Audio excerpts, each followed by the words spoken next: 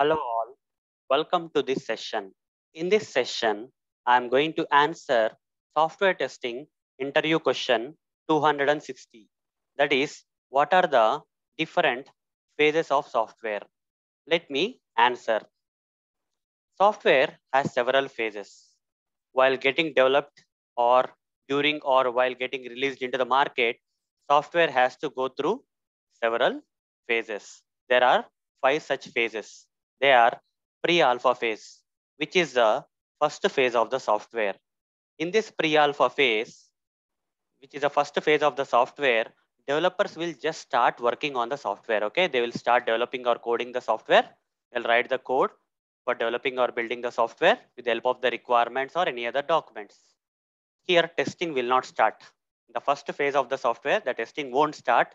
And also, no software will be released into the market during this phase. In the pre-alpha phase, just development will start, guys. That's it. Okay. Even testing also will not start.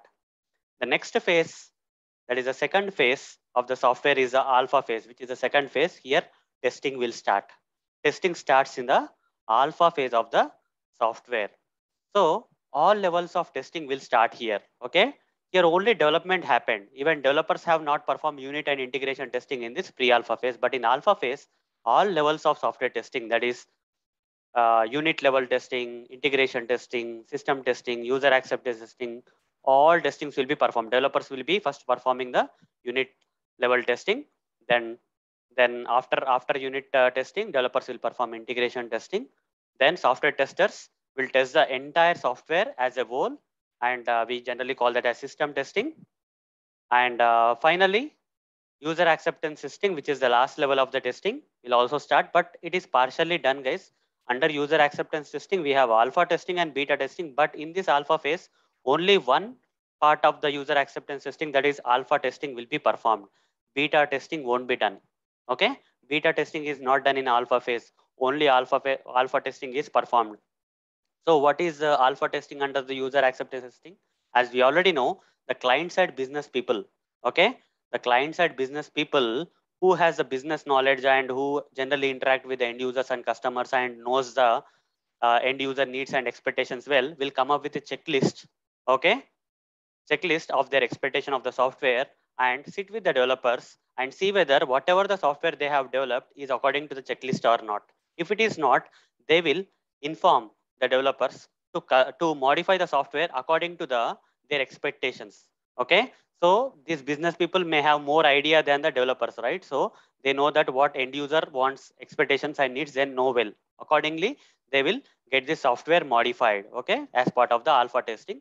Client side business people will move to the developer side and this kind of alpha testing will be done by the client side business people. Testing team will also support during these changes. Here guys, all the features need to be completed as part of the alpha phase. That means uh, according to the client specified requirements, according to the user needs and expectation checklist provided by the client side business people, all the features need to be completed. Okay. Then only alpha testing will be completed. Here also software won't be released into the market guys. Okay. In pre-alpha phase, the software is not released into the market. In alpha phase also, software is not released into the market. In pre-alpha phase, just development started. In alpha phase, different levels of testing started except beta testing.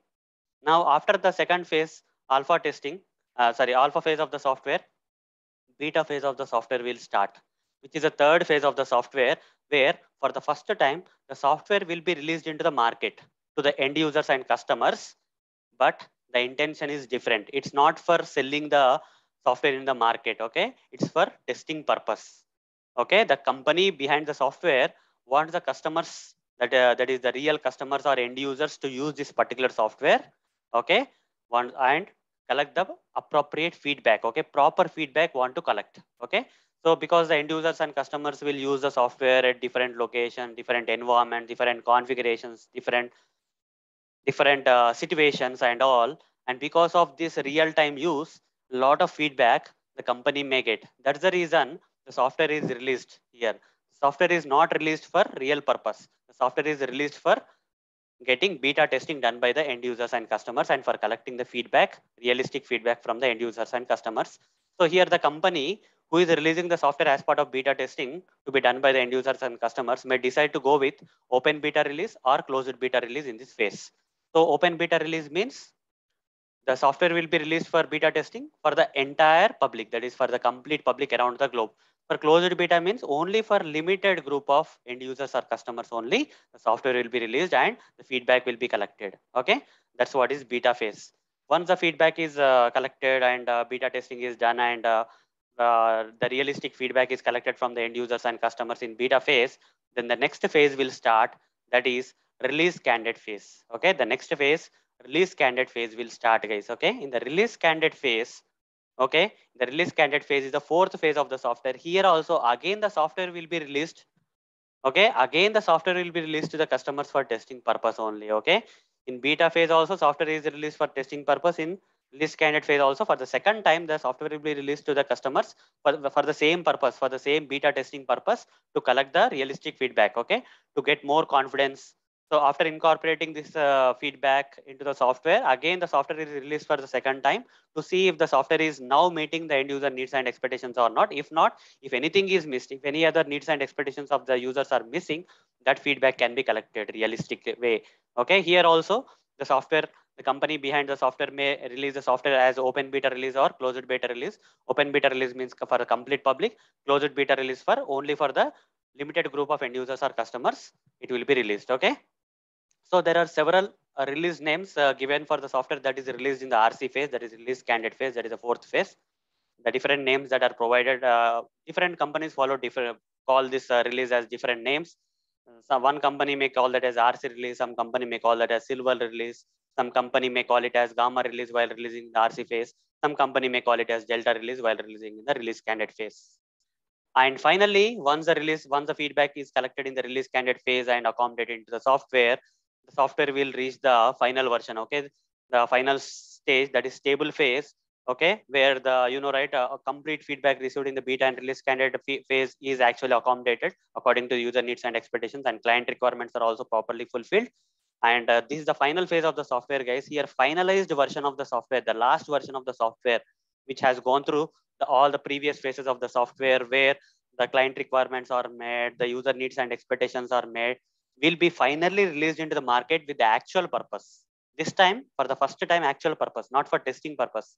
Actually, the software is getting released into the market. The end users or end customers who want to purchase the software will purchase and use it for their daily use in this final version of the software. And the name of the release is generally, okay, we generally call this release in the stable phase of the software as general availability release. So these are the different phases of the software, okay. So that is pre-alpha phase, alpha phase, beta phase, release candidate phase, and stable phase. So hope guys you understood the different phases of the software. So that's all for this session. In the next session, I'm going to answer another software testing interview question for you. Till then, see you. Bye-bye.